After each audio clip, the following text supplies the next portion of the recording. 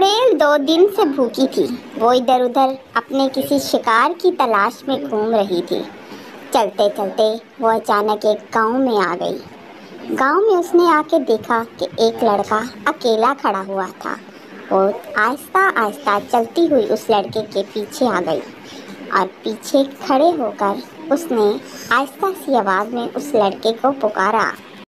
जैसे ही चुड़ैल ने उस लड़के के कंधे पर हाथ रखा लड़के ने पीछे मुड़कर देखा।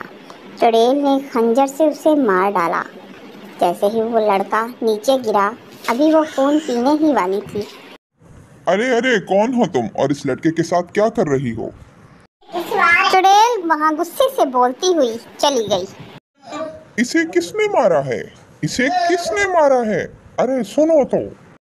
इसे मैंने नहीं मारा। यहाँ पर एक चुड़ैल थी जो इसे मार रही थी। वो यहाँ से भाग गई है। यहाँ पर कोई नहीं है। मैंने तुम्हें देखा है। इसे तुमने ही मारा है। मैं सच कह रहा हूँ, इसे मैंने नहीं मारा है। यहाँ पर सच में एक चुड़ैल थी। आपने देखा नहीं। अगर ऐसा है तो फिर हमें जाकर किसी से बात करनी चाहिए। अरे, यहाँ पर तो खून पड़ा हुआ है। लगता है किसी ने मार डाला है किसी को। बुरा हुआ ये बात तो पूरे गाँव में बतानी चाहिए। हाँ तो तुम ठीक कहती हो, पूरे गाँव में बताएँ, ताकि लोग का बाहर ना निकले। अगले दिन चुड़ैल ने गाँव के एक और आदमी को मार डाला और खून वाले हाथ सेठ के घर के दरवाजे के बाहर लगे थे। सब दो लोग देखकर खौफजदा हो गए। सेठ साहब, गाँव वालों से कहने हमें किसी जानने वाले के पास जाना चाहिए, जो चुड़ैलों के बारे में जानता हो। ये तो हमारे गाँव के लिए बहुत खतरा है। इस तरह आए रोज कोई ना कोई इस चड़ेल का निशाना बनता रहेगा। हमें इसके लिए ज़रूर कोई ज़रूरी इकदाम करना चाहिए। जी सेठ साहब, आप बिल्कुल ठीक कह रहे हैं। मैं नहीं चाहता कि कोई और इसका निशाना बने। हमें ज़रूर कोशिश करनी चाहिए इससे छुटकारा पाने की।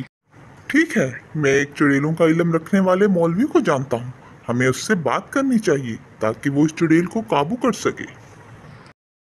मौलवी साहब, हमारे गाँव में एक चुड़ैल घुसाई है। उसने हमारे गाँव के दो तीन लोगों को खा लिया है। प्लीज़ हमारी मदद कीजिए। ओह, ये तो बहुत बुरा हुआ। लेकिन आप लोग फ़िक्र न करें। मैं उस चुड़ैल को बहुत जल्द मार दूँगा। मेरा बहुत पुराना तजर्बा है। मैं पहले भी ऐसी मखलूक से बहुत अच्छे से पेश आ चुका हूँ। वो मौलवी गाँव के दो मर्दों के साथ एक जगह पर छुप गया। छुपकर वो लोग चुड़ैल का इंतज़ार करने लगे। जैसे ही शाम होती गई उन्हें अजीब सी आवाज़ें आना शुरू हो गई और फिर चुड़ैल जाती हुई नज़र आई। उसे देखकर मौलवी साहब आगे बढ़े और चुड़ैल की तरफ़ बढ़ने लगे। जैसे ही चुड़ैल आगे गई मौलवी साहब बिल्कुल उसके सामने आ गए। ए दुष्ट चुड़ैल रुक जाओ रुक जाओ। अबे ओ मौलवी मेरे रास्ते में मत आ। मौलवी साहब ने खंजर से चुड़ैल पर वार करना शुरू कर दिया और चुड़ैल मर गई और नीचे गिर गई। जैसे ही चुड़ैल मरकर नीचे गिर गई, मौलवी साहब ने गाँव वालों को बाहर आ जाओ आपकी बहुत मेहरबानी मौलवी साहब। आपने हमारा बहुत बड़ा मसला हल कर लिया और पूरे गाँव वालों की जान बचा दी। आपका बहुत शुक्रिया।